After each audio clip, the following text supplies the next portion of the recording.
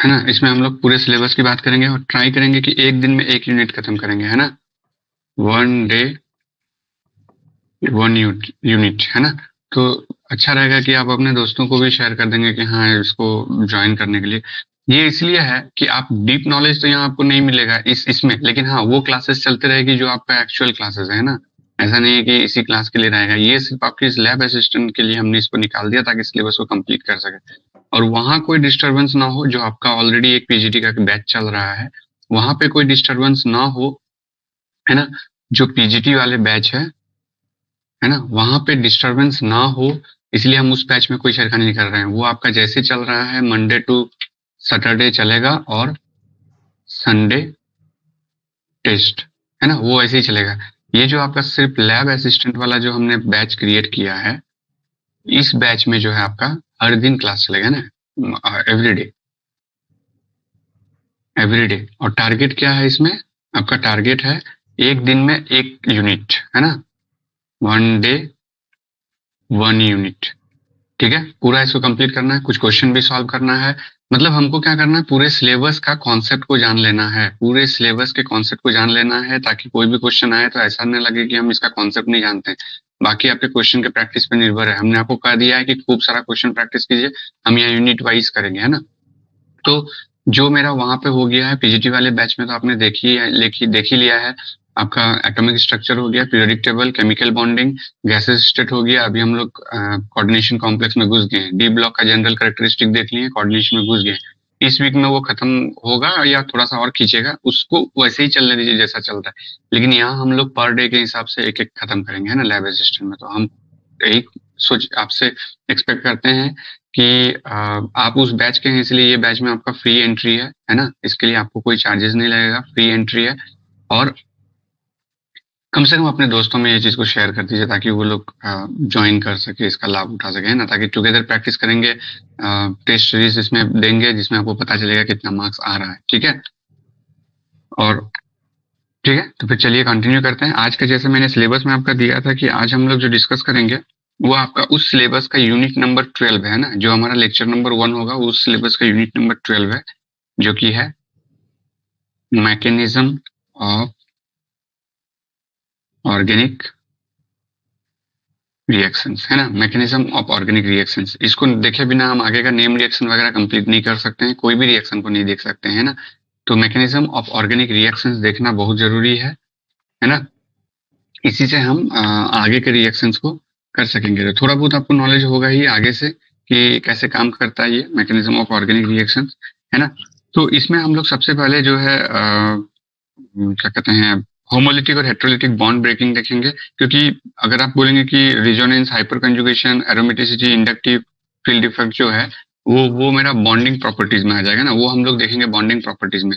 तो पहले तो मैकेनिज्म ऑफ़ ऑर्गेनिक रिएक्शन के, के में जो होमोलिटिक और हेट्रोलिटिक है उसको देखते हैं। Homolytic and heterolytic bond breaking या फिर फिजन इसको बोलते हैं। है ना? फिजन मतलब ही बॉन्ड ब्रेक करना है।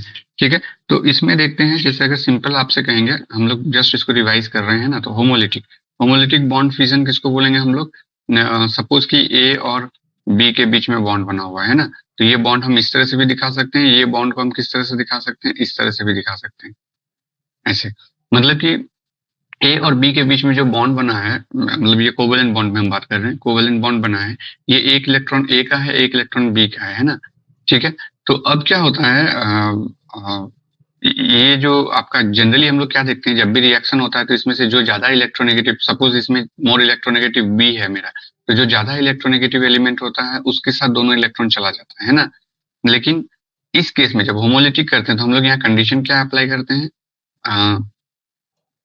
जैसे होमोलिटिक में क्लिप कैसे होगा? ये एक यहाँ जाएगा, एक इलेक्ट्रॉन इसका यहाँ आ जाएगा, है ना?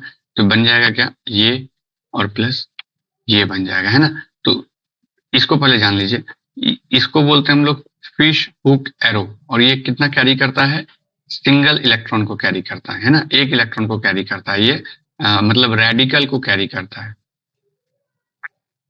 ठीक है? रेडिकल सिंगल इलेक्ट्रॉन को हम लोग रेडिकल कहेंगे न्यूट्रल होता है ये। ठीक है? तो इसको फ़िश एरो हुक कहते हैं या करली हुक एरो भी कहते हैं इसको है ना? और इसका मतलब क्या हो गया? इसमें दोनों इलेक्ट्रॉन साथ में आ रहा है ना? इसमें एक इलेक्ट्रॉन आ रहा है, इसमें दोनों इलेक्ट्रॉन साथ में आ रहा है करेक्ट ये दोनों का यही अंतर होता है ना? तो अब ये जो बना हमारा तो हम तो सिंपली लिख दिए, एक इलेक्ट्रॉन इधर चला गया, एक इलेक्ट्रॉन इधर चला गया, लेकिन ये इतना ईजी है, अगर आपको मान लेते हैं कि कोई रिएक्शन दे दिया, एक में कह रहा है कि इस तरह गया, और दूसरे में कह रहा है कि ये भी एक बॉन्ड है आपका ए और बी ठीक है? इसमें भी ए का इलेक्ट्रॉन है, एक बी का इलेक्ट्रॉन है, और जब बॉन्ड ब्रेक हो रहा है तो हमारा क्या बन रहा है? ए प्लस और बी माइनस ठीक है? उसको हम लोग हेट्रोलिटिक में डिस्कस करेंगे। तो इस तरह का भी तो हो सकता है ना, क्योंकि एरो में तो कुछ लिखा हुआ नहीं है। तो एरो में ऐसा क्या लिखा हुआ होना चाहिए जिसके कारण ये सिर्फ़ ही देगा? तो आप क्या क्या लिख सकते हैं एरो में? एक है, आप लिख सकते हैं कि अगर आपने रेडिएशन दिया एच न्यू है ना? एच न्यू कहाँ से आता है? यूवी है ना? यूवी लाइट दिया आपने रेडिएशन दिया बॉन्ड को एक्साइट किया एक्साइट करके वो हायर वाइब्रेशनल लेवल में गया और फिर वो बॉन्ड ब्रेक हुआ तो एक इलेक्ट्रॉन इसका, एक इलेक्ट्रॉन उसका। वैसे चला गया। ये हो सकता है। देन हाई टेम्परेचर आप आप देंगे, अगर हाई टेम्परेचर से आप करेंगे, ये सिंबल टेम्परेचर का है तो जब हाई टेम्परेचर आप देंगे तो उस समय में भी टेम्परेचर से जो ब्रेक होता है, वो भी आपका फ्री रेडिकली ब्रेक होता है ना फ्री रेडिकल से ब्रेक होता है करेक्ट फिर आपका जैसे तीसरा है, तीसरा क्या हो सकता है आपका? पर जितने भी पर ऑक्साइड्स हैं, है ना? पर किसको कहेंगे हम? पर हो गया, जैसे ऑक्सीजन और ऑक्सीजन के बीच में बॉन्ड होना चाहिए, है ना? सिंगल बॉन्ड फिर मॉलिक्यूल कुछ भी हो जाए। जैसे मान लेते हैं कि हम हाइड्रोजन हाइड्रोजन परऑक्साइड की बात करते हैं। जैसे अगर हम एच की बात करेंगे तो कैसे? एच ओ ओ एच ठीक है? करेक्ट बेंजॉक्सी परऑक्साइड की बात करेंगे। तो ये ले लीजिए। ओ ओ ओ एच है ना? तो जब भी आप हीट के प्रेजेंस में इसको करेंगे तो ऐसे कैसे ब्रेक होगा? ये ऐसे ब्रेक होगा और ये ऐसे ब्रेक होगा ये ओ एच रेडिकल बनेगा और ये ओ रेडिकल बनेगा है ना? तो इस तरह से ब्रेक होगा। यहाँ पर क्या होगा ये ओ एच रेडिकल बनेगा इधर भी एक ओ एच रेडिकल बनेगा। तो रेडिकल बनने के लिए ये वाला आ, ऐसे लगा हुआ ज़रूर होना चाहिए मतलब ऑक्सीजन ऑक्सीजन के बीच में सिंगल बॉन्ड और फिर इधर और इधर कोई कंपाउंड होना चाहिए। करेक्ट जब इस तरह का कुछ होगा तो इसको हम लोग परऑक्सी बॉन्ड कहते हैं। है ना? तो इस तरह का जहाँ भी आपको फ्लैंक दिखे है ना? मान लेते हैं कि अगर एच हीट नहीं दिया हुआ रहेगा हाई टेम्परेचर और एच रेडिएशन नहीं दिया हुआ रहेगा यूवी रेडिएशन नहीं दिया हुआ रहेगा। सिंपल से कोई अगर कॉम्प्लेक्स दिया कंपाउंड दिया हुआ रहेगा इसका मतलब यही हुआ सी ओ ओ एच इसका मतलब क्या हुआ? सी ओ ओ ओ एच है ना? तो यानी कि ये परऑक्सी है। तो अगर सी ओ ओ एच है तो ये कार्बोक्सिलिक एसिड हुआ, है ना? ओ एच यहाँ पर आप एक्सपेक्ट नहीं कर सकते कि ये हेल्प करेगा फ्री रेडिकल में, है ना? लेकिन जब इस तरह का कोई कंपाउंड दे दे मतलब किसी कंपाउंड में अगर ये लगा हुआ रहेगा या एच लगा हुआ रहेगा तो समझ जाएगा कि यहाँ पर इफ़ेक्ट हो रहा है उस हिसाब से ये क्या होगा हमारा? यहाँ पे होमोलिटिक क्लीवेज होगा करेक्ट तो यहाँ पर जो बॉन्ड ब्रेक होगा, ये इधर ये शिफ्ट करेगा, इधर ये शिफ्ट करेगा, है ना? इस तरह से। तो ये चीज़ ध्यान में रखेंगे कि एरो में क्या है ना? उस एरो के में क्या है? उससे ये होमोलिटिक फ्यूजन होगा। तो ये आपका होमोलिटिक फ्यूजन हो गया और आपको पता है जब भी होमोलिटिक फ्यूजन होगा, इसमें क्या बनेगा? ये एक रेडिकल बना, ये एक रेडिकल बना। ये सब क्या है हमारा? रेडिकल है ना? फ्री रेडिकल अब ये रेडिकल बना तो ये क्या इसका? ये होता है नेचर ये हमारा पैरामैग्नेटिक होता है। क्योंकि हम लोग पैरामैग्नेटिक कब करते हैं? जब किसी ऑर्बिटल में अनपेयर्ड इलेक्ट्रॉन रहे, है ना? और ऑब्वियसली कोई भी मॉलिक्यूल रहे। जब भी ये ब्रेक होगा तो एक इलेक्ट्रॉन उसके पास, एक इलेक्ट्रॉन इसके पास। जब एक ही इलेक्ट्रॉन आया तो इसका मतलब हम कह सकते हैं कि ये पैरामैग्नेटिक है ना? क्योंकि अनपेयर्ड इलेक्ट्रॉन एक इलेक्ट्रॉन मतलब अनपेयर्ड इलेक्ट्रॉन अनपेयर्ड इलेक्ट्रॉन मतलब ये पैरामैग्नेटिक होगा। इसको दिमाग में रखेंगे। जब भी फ्री रेडिकली ब्रेक करेंगे तो जो मॉलिक्यूल बनेगा मतलब रेडिकल बनेगा फ्री रेडिकल बनेगा तो वो हमारा पैरामैग्नेटिक होगा। ठीक है? और ये एकदम क्या कहते हैं, आपका अनस्टेबल होता है हाईली अनस्टेबल होता है। तो अब हम लोग जो है होमो हेट्रोलिटिक दे लेते हैं।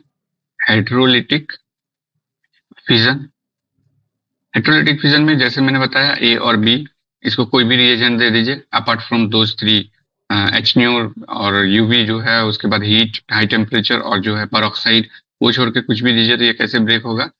बेस्ड ऑन कैसे? आपने बोला कि ए में क्यों नहीं नेगेटिव लिया कर सकते हैं, लेकिन हम लोग यहाँ पे क्या देखते हैं? एक्स ए से ज़्यादा है मतलब चाहे ए से ज़्यादा है, चाहे बी ये क्या है आपका? ये क्या दर्शाता है कि ये इलेक्ट्रोनेगेटिविटी इसका इलेक्ट्रोनेगेटिविटी ज़्यादा है बी का। तो बी का अगर इलेक्ट्रोनेगेटिविटी ज़्यादा है तो जो इलेक्ट्रॉन शिफ्ट करेगा, ये देखिए यहाँ पर दोनों हेडेड वाला दिए, यहाँ फ़िश कैरो नहीं दिया हमने, है ना? तो यहाँ पर दोनों इलेक्ट्रॉन इधर शिफ्ट कर जाता है तो यहाँ पर एक पॉजिटिव डेवलप हो जाता है और यहाँ पे नेगेटिव डेवलप हो जाता है, ठीक है? तो कैटाइन और एनाइन का सेपरेशन हो जाता है करेक्ट तो हम लोग कह सकते हैं एक कार्बो कैटाइन हुआ, और अगर ये भी कार्बन है तो ये कार्बन आयन हो गया। अगर मान लेते हैं ये कार्बन और ये क्लोरीन है तो ये कार्बो कैटाइन हुआ, और इधर में ये क्लोराइड आयन हुआ। और जो भी हुआ मतलब दो चार्ज में ये सेपरेट हो जाता है, एक पॉजिटिव में और एक नेगेटिव में। दो चार्ज में सेपरेट हो गया, ठीक है? तो ये तो जनरल टर्म हो गया आपका होमोलिटिक और हेट्रोलिटिक फ्यूजन का, है ना? कि क्यों होता है, कैसे होता है? तो बस होमोलिटिक आपको याद रखना है अपने आप हो जाएगा कि होमोलिटिक होने के लिए क्या क्या चाहिए हमको? एच चाहिए यूवी चाहिए हीट परऑक्साइड है ना? ये सब अगर रहेगा तो हमारा होमोलिटिक होगा। इसके अलावा कुछ भी रहे रिएजन तो हमारा यहाँ पर हेट्रोलिटिक क्लीवेज ही देगा ये। ठीक है? तो इसको ध्यान में रखेंगे। करेक्ट तो इस तरह से हम लोग बस ऐसे ही इसको सिलेबस ओवरव्यू कर रहे हैं। जल्दी जल्दी आगे बढ़ेंगे ताकि इसका ज़्यादा से ज़्यादा ऑब्जेक्टिव सॉल्व कर सके, है ना? ये इन डिटेल हम नहीं जा रहे हैं। आप लोग पढ़ेंगे फिर से इन डिटेल है ना? जो पीजीटी वाले बैच में है, वो इन डिटेल फिर से पढ़ेंगे। उसके, उस बैच के साथ इसीलिए मैंने मैच नहीं किया मिक्स नहीं किया। अदरवाइज़ आप कंफ्यूज हो जाएँगे कि ये तो बहुत लाइटली चले गए तो बाकी पीजीटी में क्या होगा इसलिए। ये एग्ज़ाम आ गया तो इस एग्ज़ाम के लिए हम फोकस कर रहे हैं ना। लेकिन वो बैच आपका एज इट इज़ चलेगा। इसमें हम हर दिन कोई ना कोई टाइम में एक क्लास अरेंज कर देंगे आपका। ट्राई करेंगे एक दिन में एक पूरा यूनिट खत्म करने का, है ना? तो अब जैसे फ्री रेडिकल आपने देखा होमोलिटिक में। तो फ्री रेडिकल की बात करते हैं और ये जो अभी आप पढ़ रहे हैं, ये सब, ये बिल्कुल पूरे ऑर्गेनिक केमिस्ट्री का बैकबोन है, इसको दिमाग में रखिएगा। जो भी homolytic heterolytic free radical carbocation carbanion carbene nitrene benzyne फिर जो रिएक्शन मैकेनिज्म है S N one S N two S N I भी है आपका हाँ हाँ एस एन आई भी है E one E two E one C B सारा हम लोग करेंगे, है ना? और आपको समझ में आ जाएगा कि कैसे वो रिएक्शन हो रहा है करेक्ट हाँ अब आपका जो है bond breaking types of reagent okay जाएँगे वहाँ पे तो फ्री रेडिकल्स को देखते हैं, है ना? फ्री रेडिकल जनरेट हो रहा है कैसे? होमोलिटिक फ्यूजन से हो रहा है ना? फ्री रेडिकल जनरेट हो रहा है। ये सब आपका छोटा छोटा क्वेश्चन बनने के लिए हम दे रहे हैं ना? होमोलिटिक फ्यूजन से बनता है। अगर पूछेगा कि फ्री रेडिकल्स कैसे बन रहा है रिएजेंट दीजिए तो रिएजेंट या तो एच न्यू रेडिएशन से होगा, जो कि यूवी है, या फिर हाई टेम्परेचर होगा, या फिर आपका परोक्साइड होगा, है ना? तो इस तरह से आप कह सकते हैं कि फ्री रेडिकल का जनरेट होगा। ठीक है? अब फ्री रेडिकल जनरेट के लिए जैसे परोक्सी है, दो ऑक्सीजन के बीच में बॉन्ड होना चाहिए। ज़रूरी नहीं है, दो क्लोरीन भी रहेगा, अगर मान लेते हैं इस तरह दो क्लोरीन भी रहेगा और हमने अगर एच न्यू दिया है तो भी ये ऐसे ही शिफ्ट करेगा, है ना? और दो क्लोराइड रेडिकल बना देगा। ये क्या है हमारा? क्लोराइड रेडिकल ठीक है? अगर मान लेते हैं हमारे पास कीटोन है, ठीक है? इसमें भी आपने एच न्यू दिया रेडिएशन दिया, ठीक है? तो ये भी इधर भी, ये होगा, ये भी इधर होगा तो क्या बनेगा ये? आर टी ओ आर आपको लग रहा होगा कि एच न्यू से ये बॉन्ड कैसे ब्रेक हो रहा है? देखिए बॉन्ड हम वही बात है कि इन डिटेल नहीं पढ़ाते हैं तो भी हमको मतलब लगता है कि अधूरा ज्ञान है वो, है ना? तो जो, ये बॉन्ड होता है, ये एज इट इज़ कोई फ़िज़िकल ऐसे बॉन्ड नहीं बनता है दो मॉलिक्यूल के बीच में। सपोज़ ये क्लोरीन और ये क्लोरीन है, इसके बीच में ऐसा कोई एज इट इज़ बॉन्ड नहीं बनता है। सपोज़ ये कार्बन है और ये क्लोरीन है, इसके बीच में एज इट इज़ कोई बॉन्ड नहीं बनता है। क्या होता है कि ये एक एटम है, इसका अपना एक एटॉमिक साइज़ है। तो इसका पॉजिटिव है ना? इसके इलेक्ट्रॉन क्लाउड को अपने तरफ़ खींचता है। तो ये इधर आ जाता है, ये भी इधर जाता है, आपस के अट्रैक्शन के कारण। तो एक मिनिमम दूरी में पहुँचा दोनों, ये भी यहाँ पहुँचा और ये यहाँ पहुँचा, है ना? दोनों एक मिनिमम दूरी में पहुँचा। अब क्या हो रहा है, जब एक दूसरे के नज़दीक में पहुँच गया तो इसका इलेक्ट्रॉन क्लाउड और इसका इलेक्ट्रॉन क्लाउड एक दूसरे को रिपेल करने लगा, है ना? यहाँ पर क्या क्या हुआ? अट्रैक्शन हुआ। किसके बीच में? इसका न्यूक्लियस इसके इलेक्ट्रॉन इसका न्यूक्लियस इसके इलेक्ट्रॉन को, है ना? मतलब पॉजिटिव और नेगेटिव के बीच में अट्रैक्शन हुआ। मतलब इसका न्यूक्लियस इसके इलेक्ट्रॉन को खींच रहा है, इसका न्यूक्लियस इसके इलेक्ट्रॉन को खींच रहा है तो एक दूसरे के सामने आ रहा है अट्रैक्शन अब रिपल्शन कहाँ से हुआ? रिपल्शन रिपल्शन हुआ कि इसका इलेक्ट्रॉन क्लाउड अब होगा ही ना, जब नज़दीक आएगा तो पॉजिटिव तो सेंटर में है। इसका इलेक्ट्रॉन क्लाउड और इसका इलेक्ट्रॉन क्लाउड एक दूसरे को रिपेल कर रहा है। मतलब इसका इलेक्ट्रॉन इसका इलेक्ट्रॉन और इसका इलेक्ट्रॉन दोनों का इलेक्ट्रॉन क्या हो रहा है? एक दूसरे को रिपेल कर रहा है। तो ये रिपेल करने के लिए जैसे ही फिर दूर भाग रहा है फिर ये अट्रैक्शन हो रहा है। तो ये अट्रैक्शन और रिपल्शन के बीच में एक बैलेंस्ड दूरी में रहता है ये लोग है ना? बैलेंस्ड करके जैसे आप एक मैग्नेट बार को लिए और इसको यहाँ से ब्रेक कर दिए अब ब्रेक करने के बाद आपका ये दो टुकड़ा बना। क्या ये दोनों टुकड़ा को आप जोड़ सकते हैं? नहीं। देखिएगा क्या एयर में मतलब इतन, एक दूरी तक आने के बाद अब और नज़दीक नहीं जा रहा है ना? और नज़दीक नहीं जा रहा है। तो ये जो एक इनविजिबल आपका जो बना, इसी तरह से बॉन्ड भी रहता है। एकदम नज़दीक भी नहीं जा सकता रिपल्शन के कारण, दूरी भी नहीं जा सकता कि एक दूसरे क्योंकि एक दूसरे को पकड़ के रखा है। तो ये जो बैलेंस दूरी है यहाँ से यहाँ तक का, इसी डिस्टेंस को हम लोग कहते हैं, है ना? जो हमारा कोवलेंट बॉन्ड बॉन्ड लेंथ इसी को हम लोग कहते हैं। बॉन्ड लेंथ कोवलेंट के केस में, है ना? इसी को बॉन्ड लेंथ जो एक बैलेंस डिस्टेंस में गया। तो वही चीज़ यहाँ हो रहा है। तो इसका मतलब ये क्या है? अगर हम इसको एनर्जी देंगे, हम अगर मोर्स डायग्राम कर्व में देखेंगे, ऐसे करके जाता है और ऐसे, इसे एनहार्मोनिक मोशन है ना? तो ये हो गया हमारा आर ये क्या हो गया? बॉन्ड लेंथ है ना?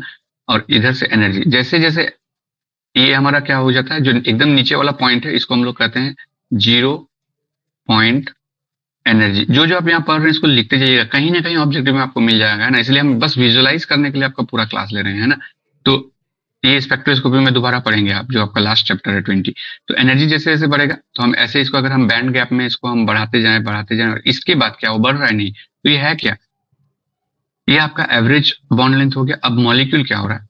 अट्रैक्शन हो रहा है तो नज़दीक आएगा, है ना? रिपल्शन हो रहा है तो दूर जाएगा। सपोज़ ये मॉलिक्यूल अभी यहाँ है तो रिपल्शन हो रहा है। एनर्जी दी तो रिपल्शन हुआ तो दूर गया, यहाँ तक यहाँ तक गया। इसके आगे क्यों नहीं जा सकता? क्योंकि अट्रैक्शन है। फिर उसको इधर खींच रहा है, ये इसको इधर खींच रहा है। फिर और एनर्जी बढ़ा। जैसे ये एक एनर्जी एनर्जी जब से बढ़ रहा है एनर्जी बढ़ा तो रिपल्शन ज़्यादा हुआ, यहाँ तक पहुँचा, यहाँ तक पहुँचा रिपल्शन के कारण। जब दूर पहुँचा तो फिर अट्रैक्शन हुआ, फिर नज़दीक खींचा, फिर नज़दीक खींचा तो ये वाइब्रेशन हुआ। फिर और एनर्जी बढ़ा तो देखिए ये गैप बढ़ रहा है ना मतलब डिस्टेंस वाइब्रेशन लेवल का, ये सब क्या है हमारा? वाइब्रेशन लेवल बढ़ रहा है, फिर ये देखिए बढ़ रहा है ना, ये बढ़ रहा है। लेकिन इस केस में क्या होगा, जैसे ही थोड़ा सा ऊपर जाएँगे, अब जो बढ़ा तो ये चला ही गया। है ना, वापस नहीं आया। मतलब ये जो है हमारा बॉन्ड डिसोशिएशन एनर्जी एक चीज़ है, जो आप अभी यहाँ जल्दी जल्दी देख रहे हैं, इसको इन डिटेल आप देखेंगे अपने पीजीटी वाले बैच में। डोंट वरी है ना, जो हम पीजीटी वाले बैच में करेंगे, उसमें आप इन डिटेल देखेंगे। अभी हमको लैब असिस्टेंट के लिए पूरा सिलेबस कंप्लीट करना। पढ़ाने का तो हम सब आपको पढ़ाएँगे, हम आपको बताया था ना, बस हम आपको उसको जल्दीबाजी में ले जा रहे हैं। अब ये बॉन्ड का नेचर आपको लगेगा एक बार कि एच से बॉन्ड कैसे ब्रेक हो रहा है, वो बताने के लिए कर रहे हैं। एच क्या है? तो एनर्जी है है ना? Energy equal to h nu होता है एमसी स्क्वायर भी होता है हमको पता है। और एच न्यू क्या होता है? एच प्लैंक कांस्टेंट है न्यू को क्या लिख सकते हैं? सी बटे लेमडा इसका मतलब सी कांस्टेंट है एच कांस्टेंट है लेमडा के अकॉर्डिंग हमने ये देखा है एटॉमिक स्ट्रक्चर चैप्टर में, है ना? तो लेमडा इसका मतलब जो रेडिएशन हमारा आ रहा है सन से तो उसका अपना कोई वेवलेंथ होगा तो उस वेवलेंथ के हिसाब से हम एनर्जी में कन्वर्ट करते हैं, और वो एनर्जी यहाँ दे करके एक पार्टिकुलर एनर्जी जो कि बॉन्ड डिसोसिएशन एनर्जी तक अगर पहुँच गया इस बॉन्ड को ब्रेक कर देगा। तो उतना ही एच न्यू देना है जो इसका बॉन्ड एनर्जी है। तो सबका अपना अपना ये जो वैल्यू है, सबका अपना अपना हो है कि जैसे होता है ना कि अच्छा इलास्टिक लिए तो उसको ज़्यादा दूर तक खींच सकते हैं। सस्ता वाला रबर लिए तो उसको उतना दूर तक खींचिएगा तो बीच में ही फट जाएगा। तो उस रबर का वो स्ट्रेंथ हुआ कि उतना दूर खींचने के बाद वो टूट जाता है। वैसे हर बॉन्ड का होता है। कि ज़्यादा एनर्जी दीजिए तो इतना रिपल्शन होने के बाद एक बार इतना दूर चला जाए कि उसमें फिर और कोई अट्रैक्शन फोर्स काम नहीं कर रहा है तो उसको वापस नहीं लेके आएगा, है ना? तो उसी से क्या होता है यहाँ पर? बॉन्ड ब्रेक होता है। इसलिए एच न्यू डालने से मेरा बॉन्ड ब्रेक होता है। रेडिकली बॉन्ड ब्रेक होता है करेक्ट तो ये बताने के लिए सिर्फ़ हम यहाँ पहुँच गए ऐसे तो केमिस्ट्री पूरा एक दूसरे से इंटरलिंक्ड है। तो ये फ्री रेडिकल का हुआ, ठीक है? तो हम लोग जो है आपको सिलेबस को भी पॉइंट करना होगा, नहीं तो हम लोग एक एक केमिस्ट्री का, एक एक टॉपिक ऐसा है कि पूरा महासमंदर है ना, उसमें घुस जाएँगे तो फिर गोता लगाते रहेंगे, है ना? तो होमोलिटिक हेट्रोलिटिक हो गया। अब टाइप्स ऑफ़ रिएजन में जाते हैं हम लोग। इलेक्ट्रोफाइल्स एंड न्यूक्लियोफाइल्स क्या होता है, वो देखते हैं। सिर्फ़ टच कर रहे हैं हम, है ना? इलेक्ट्रोफाइल्स क्या है? न्यूक्लियो फाइल्स क्या है? कैसे समझ में? क्योंकि आपको एक क्वेश्चन देता है। जैसे हम आपको एक क्वेश्चन पूछ के इसका स्टार्ट करते हैं कि इसमें कैसे क्वेश्चन पूछता है इलेक्ट्रोफाइल्स और न्यूक्लियोफाइल्स में? कि आप हमको बताइए कि इसमें कैसे क्वेश्चन पूछता है वो बता देते हैं पहले होमोलिटिक हाइड्रोलिटी में। सपोज़ कोई नेम रिएक्शन दे दिया है और पूछ रहा है कि आप बताइए, इसका जो रिएक्शन है, इसका इंटरमीडिएट फ्री रेडिकली हो रहा है कि है मतलब कि कार्बोकेटाइन बन रहा है इंटरमीडिएट मतलब क्या बन रहा है? है ना? फ्री रेडिकल बन रहा है कि कार्बोकेटाइन बन रहा है कि कार्बानियन बन रहा है कि कार्बिन बन रहा है है ना? ऐसा पूछेगा चार में से। तो आपको वो देखना होगा कि इसमें क्या है है ना? ठीक है? तो उस हिसाब से आप देखेंगे एरो में क्या है, आप उसका आंसर करेंगे। आपको बहुत ज़्यादा हाई लेवल का सीएसआर लेवल का क्वेश्चन नहीं पूछेगा तो अपना आँख, कान, मुँह सब खोल कर रखेंगे वहाँ पर, आपको इजीली हो जाएगा। और जो हम अभी पढ़ा रहे हैं, इसको एकदम ध्यान से आप सुनते जाइए आपको कोई रिविजन की ज़रूरत नहीं पड़ेगी है ना? ठीक है? अब मूवी की तरह इस वीडियो को देखते जाइएगा आपका पूरा सिलेबस रहेगा यहाँ पे। तो अब जैसे है एक क्वेश्चन हम आपको दे दें कि इनमें से है ना? कौन कौन जो है आपका आ, हमको बताइए कि इलेक्ट्रोफाइल है। इनमें से इनमें से कौन इलेक्ट्रोफाइल है? कौन कौन नहीं हम कौन ही बता रहे हैं। इनमें से कौन जो है हमारा वो इलेक्ट्रोफाइल है। फट से बताइए, हम इंतज़ार कर रहे हैं आपका। वो एक मिनट से ज़्यादा नहीं लगना चाहिए। इनमें से कौन इलेक्ट्रोफाइल है? ए बी सी डी ये क्वेश्चन रहेगा। अभी देखिएगा, इसके, इस क्लास के बाद आपका सब क्लियर हो जाएगा कि क्या है। है ना? इनमें से कौन इलेक्ट्रोफाइल है? फटाक से जवाब दे दीजिए, है ना? गलत, सही, कोई दिक्कत नहीं है। इनमें से कौन इलेक्ट्रोफाइल है?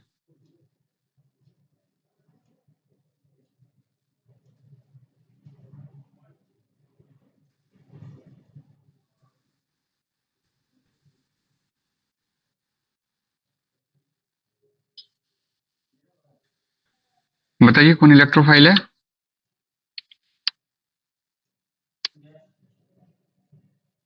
क्योंकि इलेक्ट्रोफाइल और न्यूक्लियोफाइल को आपको पहचानना है। अगर जब इलेक्ट्रोफाइल न्यूक्लियोफाइल को पहचानेंगे और भी जो अलग अलग रिएक्शन मैकेनिज्म हम लोग देखेंगे तो आपको समझ में आ जाएगा कि कैसे रिएक्शन करना है।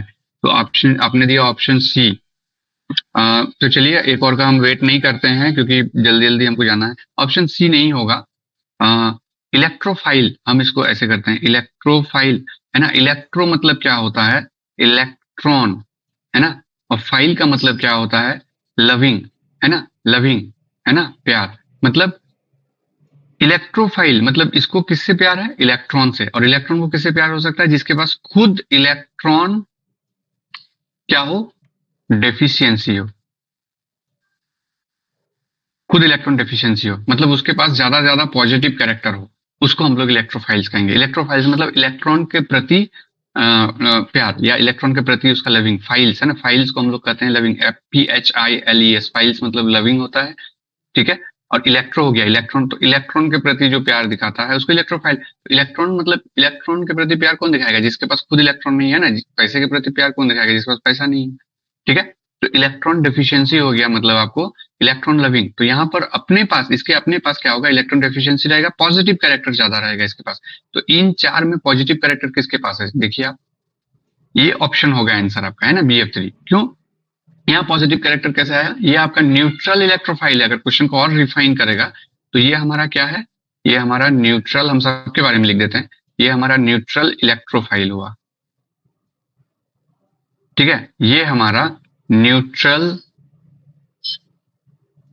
न्यूक्लियोफाइल हुआ। ऐसे हम लोग इसको इलेक्ट्रोफाइल और न्यूक्लियोफाइल को शॉर्ट में भी लिखते हैं तो हम वही यूज़ करेंगे। ये इलेक्ट्रोफाइल हो गया और ये न्यूक्लियोफाइल हो गया, है ना? ये हमारा क्या हो गया? निगेटिव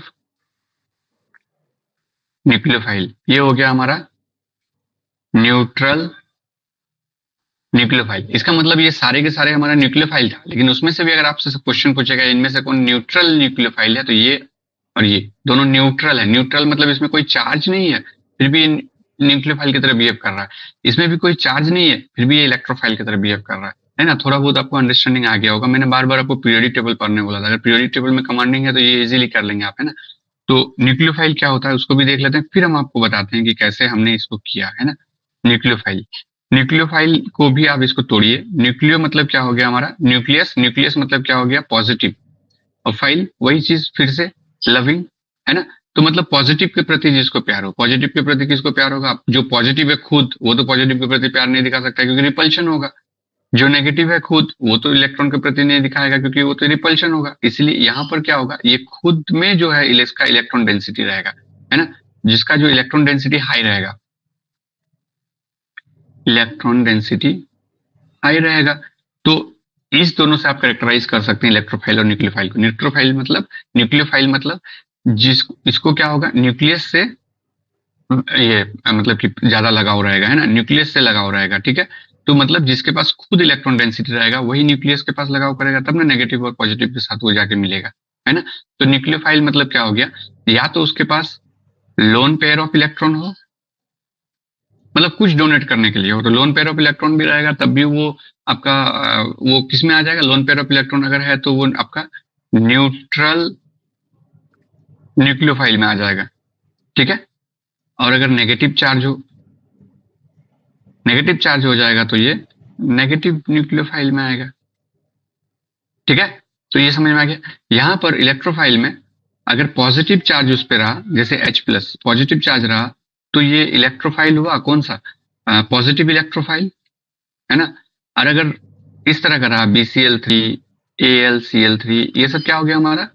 न्यूट्रल इलेक्ट्रोफाइल है ना? न्यूट्रल इलेक्ट्रोफाइल हुआ ये। कैसे? क्योंकि ये सबका ऑक्टेट देखिए आप।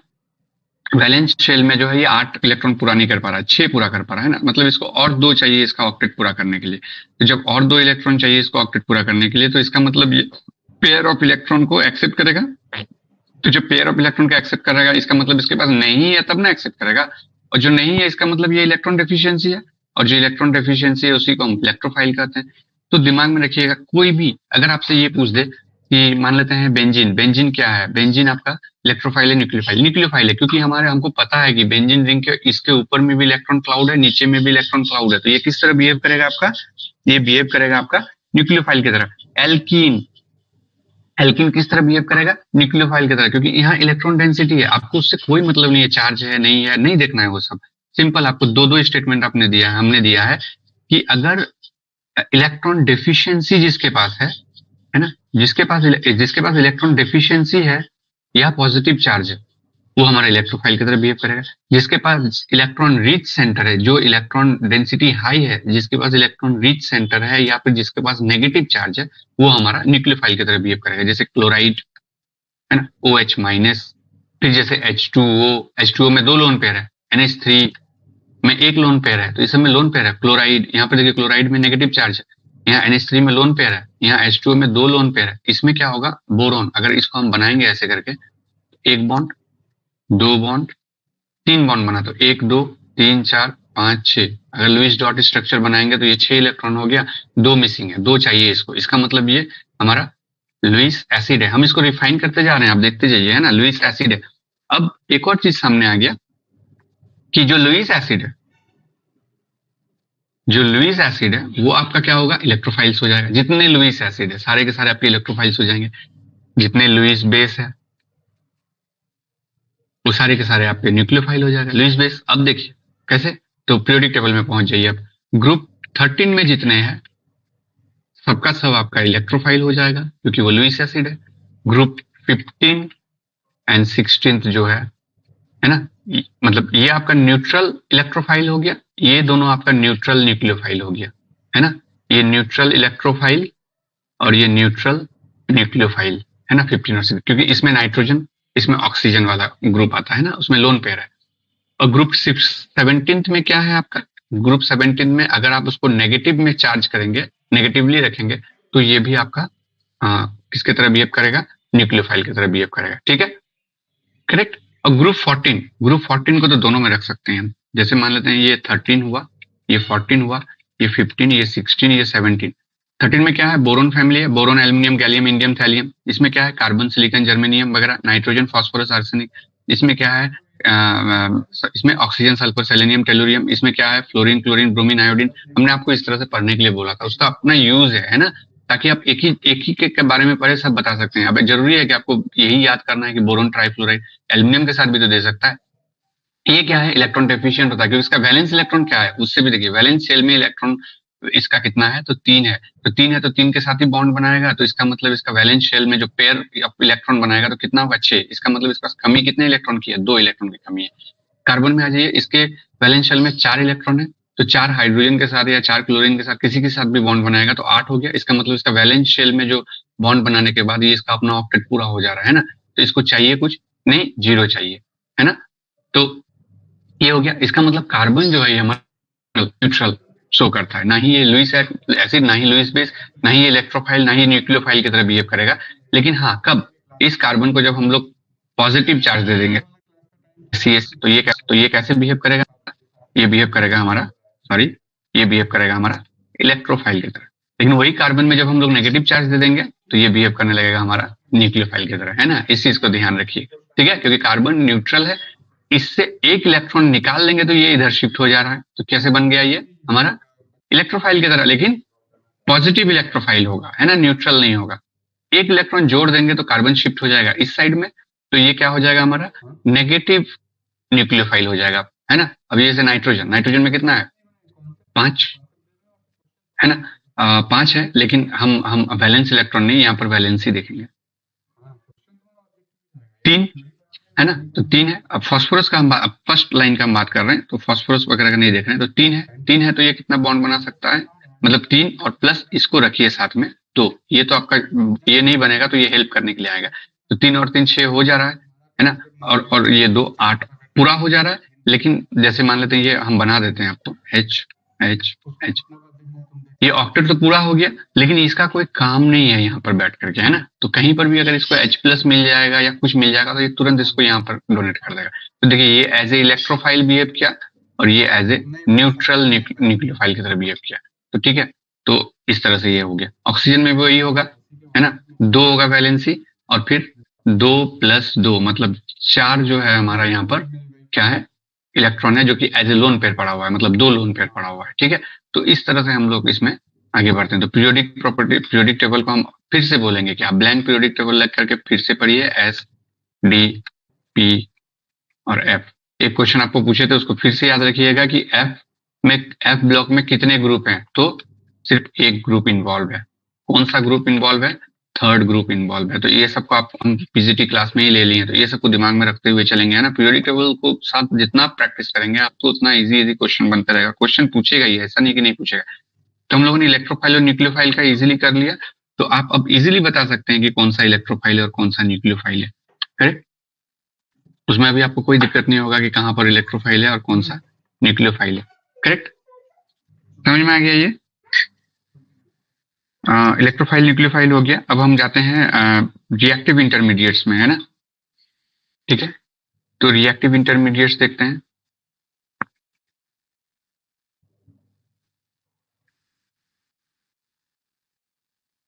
ठीक है? तो रिएक्टिव इंटरमीडिएट्स में हम लोग क्या क्या देखेंगे? कार्बोकेटाइन कार्बानियम कार्बिन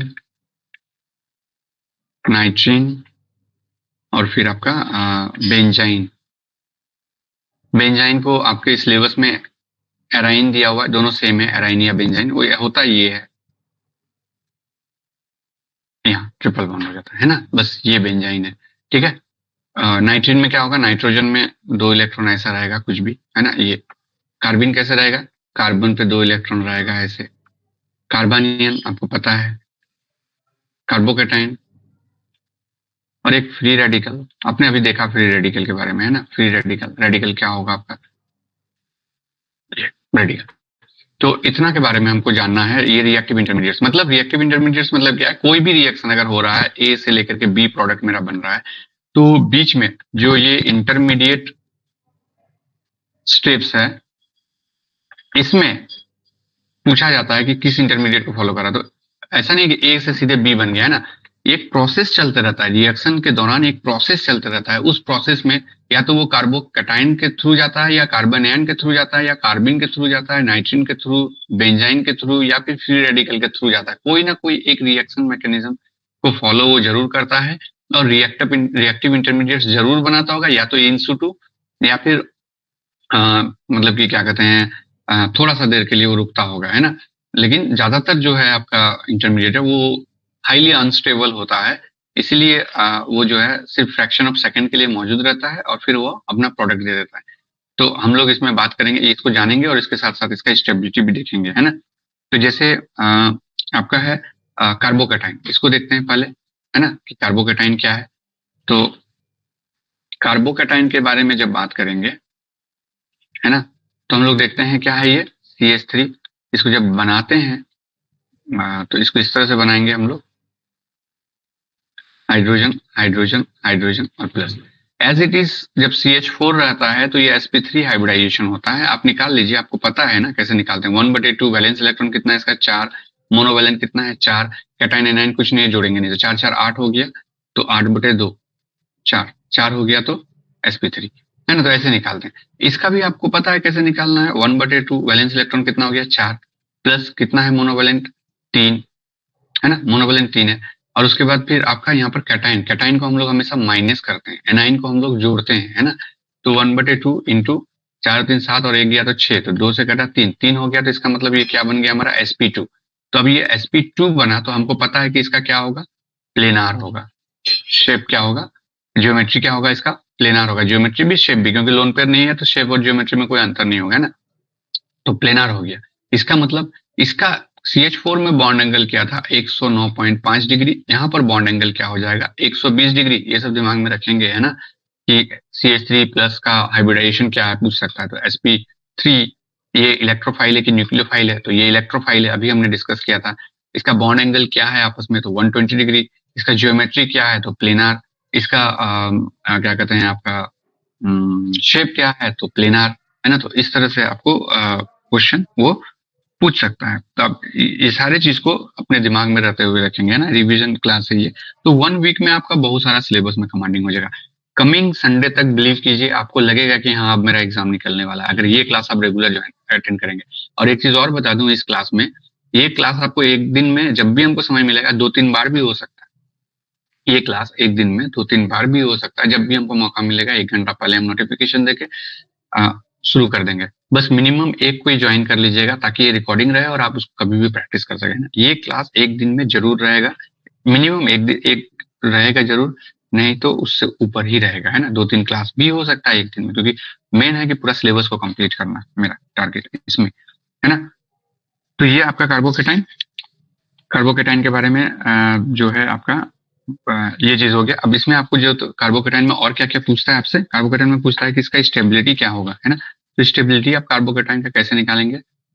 इसके लिए जो दो चीज़ पढ़ना था, वो आपको एक इंडक्टिव इफ़ेक्ट और एक हाइपर कंजुगेशन पढ़ना है ना? हाइपर कंजुगेशन इंडक्टिव इफ़ेक्ट और हाइपर कंजुगेशन आपको पढ़ना है, ठीक है?